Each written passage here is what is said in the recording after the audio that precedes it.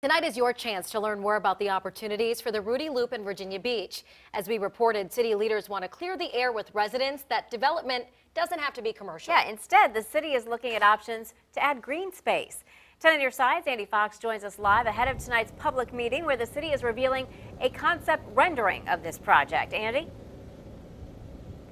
Yeah, this is part of the 10 acre Rudee Loop site right here. It would go all the way down here. There won't be hotels and motels and restaurants and economic development things. All this area right in here would be something softer than that. Entertainment, basketball courts, tennis courts, all the way down to over there. Rudee Inlet is all about this boats coming and going, bikes, fishing, surfing. Grommet Park, a playground for everybody. Up in Chopperton, you can see why Rudee Loop is considered one of the most pristine pieces of undeveloped property on the East Coast. It's a really important place to keep open and to keep available to the public. We walked some of the 10 acre Rudee Loop site with former City Planning Director Barry Frankenfield and Virginia Beach City Councilwoman Rosemary Wilson. There's already been significant citizen involvement, and this is what they've asked for. In a June survey that is now part of the Resort Area Strategic Action Plan.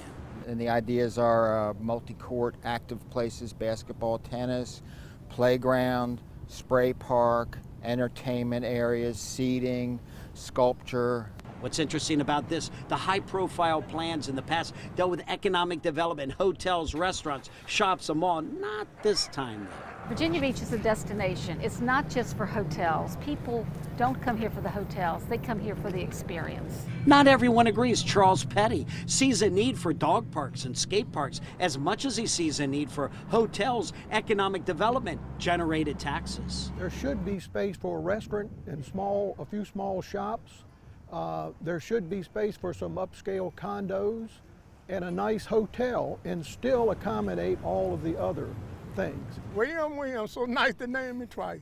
We found William William fishing in Rudee Inlet. I've been here 80 years, so I know to all the places that we used to fill, you know, that um, uh, they don't build up, you know, and we can't go in anymore. So this is the last place that we have right now to go fishing. Has to do with active places for children, for adults, for entertainment, special events, um, just enjoying the beach and the open space, fishing, surfing. It has to do with everything that everybody likes to do here. And that is what the city's plan is, at least to propose right now. Here's the bottom line. What happens? Well, if this is approved, then Councilwoman Wilson and others will go out and see what kind of money and funding is out there in the nonprofit venue. A lot of projects are built in Virginia Beach that way. The Sandler Center is just one example. They'd go out, see if the money's there. If it's not there, then they'll wait. But at least they're this much further down the road trying to figure out what should go on the Rudee Loop site.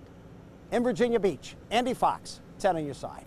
All right, Andy, thank you. And if you want to attend tonight's meeting, it's from 6 to 8 at the Virginia Beach Convention Center on 19th Street. You will get to see that first draft concept rendering for adding green space to Rudee Loop and offer your feedback.